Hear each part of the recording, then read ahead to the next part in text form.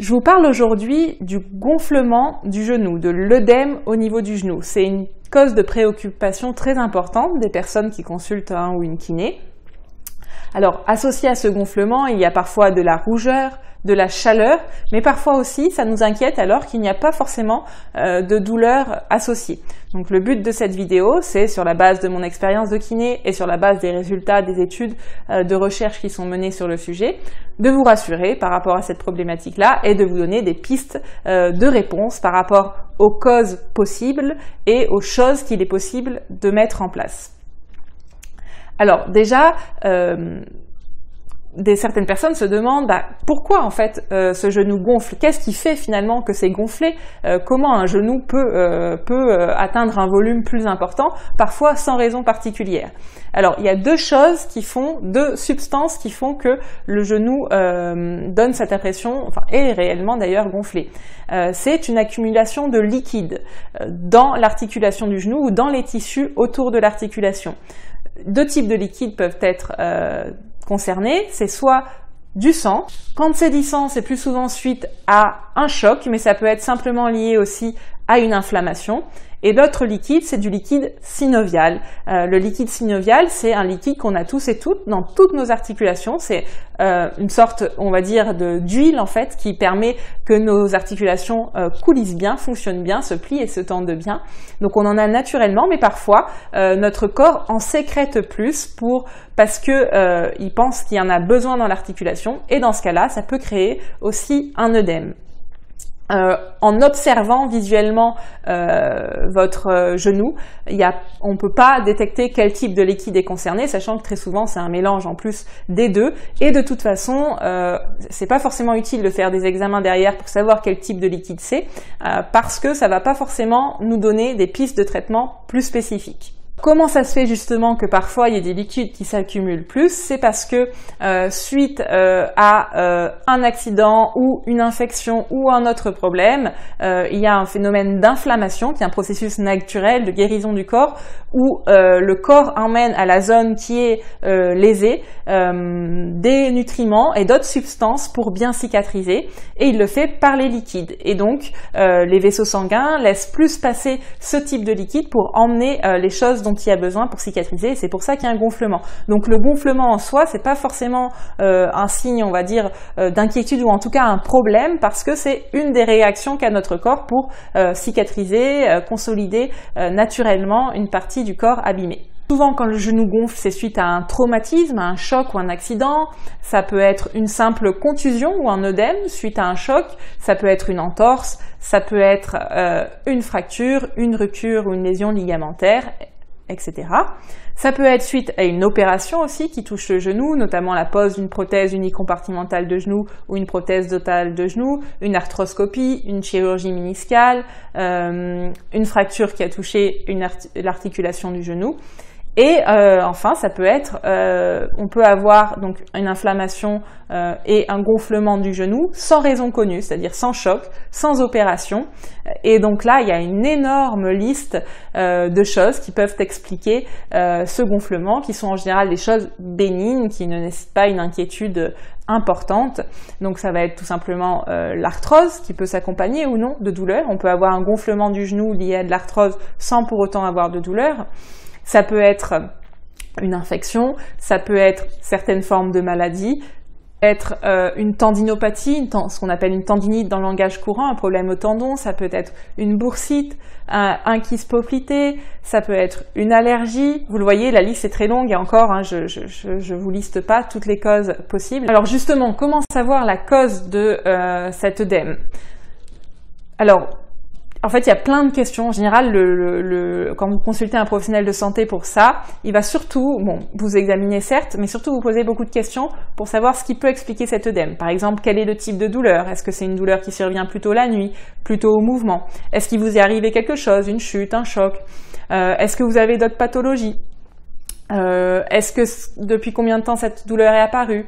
Euh, Est-ce que c'est quelque chose que vous avez euh, de manière constante ou est-ce que c'est plus par moment que d'autres? Il y a énormément de questions comme ça. Vous pourrez retrouver si ça vous intéresse sur l'article que je vous mettrai en lien.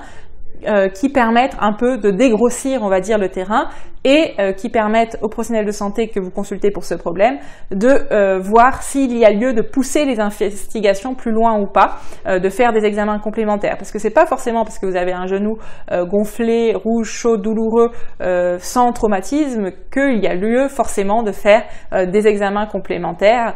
parfois, le simple interrogatoire suffit à éliminer des problèmes entre guillemets graves qui nécessiteraient un traitement spécifique. Et dans ce cas-là, moi je vous encourage à faire confiance avec professionnels et à attendre que les choses rentrent dans l'ordre par elles-mêmes ou à mettre en place justement les choses qu'on va, que je vais décrire. L'œdème au niveau du genou, euh, comme d'ailleurs de n'importe quelle partie du corps, vous trouverez une liste quasiment infinie de choses qu'il est possible en place, de mettre en place, de professionnels auxquels recourir, de méthodes, de thérapie, de gélules, de pommades, euh, de bas de contention, de chaussettes, de thérapie mécanique. Enfin, il y a une liste vraiment euh, infinie. Ce serait quasiment impossible de faire la liste de tout ce que certaines personnes proposent. Donc, je vais vous donner moi ce que je vous recommande et pourquoi je recommande ça plutôt qu'autre chose. En fait, moi, quand euh, je recommande quelque chose à mes patients et mes patientes, j'essaie toujours de prendre en compte quatre critères qui sont le maximum d'efficacité théorique par rapport à nos connaissances, on va dire, du corps humain, et empirique s'il y a des données, des études qui comparent par exemple des gens qui ont genou gonflé à des gens qui n'ont pas de genou gonflé et qui regardent qu'est-ce qui marche mieux, qu'est-ce qui marche euh, sur les personnes qui ont un genou gonflé. Donc maximum d'efficacité. Le minimum d'effets secondaires, pareil, théorique ou empirique, retrouvé dans les études. Euh, parce que n'importe quel traitement, même naturel, peut potentiellement avoir des effets euh, indésirables, secondaires. Euh, je regarde aussi s'il euh, y a besoin euh, d'une tierce personne ou non pour appliquer ce traitement, parce que pour moi, tant qu'on peut le faire de manière autonome, bah, c'est encore mieux que de dépendre d'une tierce personne. Et enfin, je regarde la dépendance aussi à un matériel. Est-ce qu'il y a besoin d'un matériel ou est-ce qu'on peut le faire sans matériel? Je privilégie les choses sans matériel ou au matériel peu coûteux. Et puis je regarde enfin l'énergie, le temps que nécessite la mise en place de ce traitement. Je les traitements qui nécessitent moins de temps, moins d'énergie, moins d'achat euh, que les traitements qui nécessitent beaucoup de tout ça. Donc si je prends en compte ces quatre critères, mon expérience, les données que j'ai regardées dans la littérature, euh, je vais vous dire du coup qu'est-ce que je fais, euh, toutes choses confondues, même si bien sûr en fonction de la cause il y aura des traitements plus ou moins spécifiques, pour un problème de genou gonflé.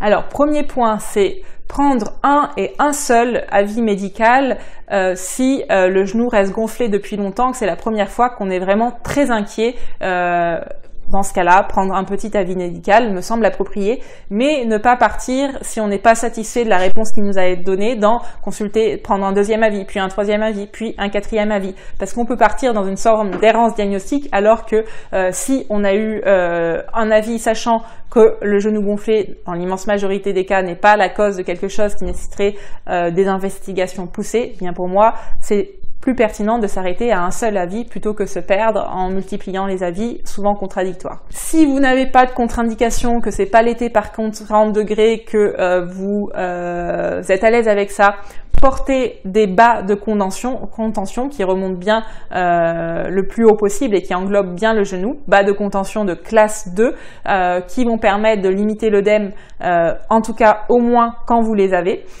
encore une fois, si vous les tolérez bien c'est quelque chose qui peut être euh, prescrit par euh, une kiné, un kiné, euh, un médecin et qui sera pris en charge en France remboursé par l'assurance maladie. Vous pouvez surélever le pied plus haut que le cœur dans la journée dès que c'est possible, soit en vous allongeant avec des piles de coussins, soit quand vous êtes assis euh, en euh, posant le pied en hauteur avec des coussins sur une chaise, parce que euh, le fait de mettre comme ça le pied en déclive va limiter l'œdème dans le membre inférieur. Vous pouvez éviter de rester longtemps debout, statique, sans bouger, parce que c'est là qu'il y a le plus de stase de liquide vont le plus rester dans l'articulation, parce que la pompe musculaire qui permet de drainer, de faire circuler les liquides dans le corps n'est pas activé quand on est debout statique ou très peu.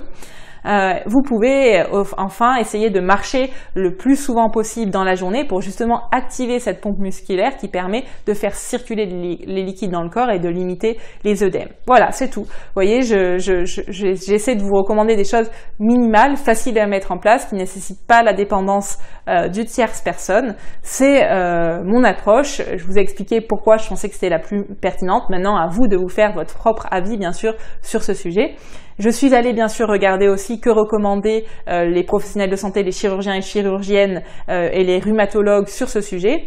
Et justement, il y a euh, en fait euh, certains chirurgiens, chirurgiennes et rhumatologues ont eu envie d'émettre des recommandations de manière collégiale sur le sujet du gonflement du genou parce qu'ils se sont euh, rendus compte ben, de quelque chose dont on est conscient depuis longtemps, c'est que face à un problème de santé, par exemple, les kinés vont avoir tendance à recommander bah, des séances de kiné pour régler ce problème. Les vont avoir tendance à recommander des infiltrations ou des gestes qu'ils vont faire eux-mêmes. Les chirurgiens vont avoir tendance à recommander plutôt des arthroscopies ou des gestes chirurgicaux, même peu invasifs, qui font eux-mêmes. Euh, les médecins du sport vont avoir tendance à recommander des gestes particuliers qui font eux-mêmes. Enfin, vous voyez, chaque professionnel, on a un biais, même si on essaie bien sûr de le limiter, qui va nous faire euh, tendance euh, à recommander plutôt des choses qu'on pratique nous. c'est comme ça, notre cerveau est fait pour être comme ça, même si on est laissé de limiter ses biais, et qu'on essaie de s'impliquer au mieux pour nos patients et nos patientes. C'est pour cela que justement euh, des, chirurgiens et chirurgiennes, des, des rhumatologues donc, ont essayé euh, d'avoir un avis un peu collégial sur le sujet euh, du gonflement et d'émettre des recommandations. Et voici est, ce qui a émergé de ces recommandations de 2009. Je vous mettrai hein, bien sûr le lien dans le descriptif de la vidéo. C'est de mettre en décharge, en marchant par exemple avec des béquilles, le membre inférieur concerné, de mettre une attelle, de mettre une contention, de mettre du froid et si pas de contre-indication, de prendre euh, des anti-inflammatoires ou des antalgiques. Là, c'est plutôt d'ailleurs en cas de douleur et que de, ou d'œdème. Et vous le voyez aussi, leur liste de recommandations euh, va au minimum. Euh, on n'est pas sur des recommandations de pratique X ou Y. Voilà pour ce que je voulais vous dire sur le sujet. Si vous avez des remarques, des questions, n'hésitez pas à en faire part en commentaire. Merci.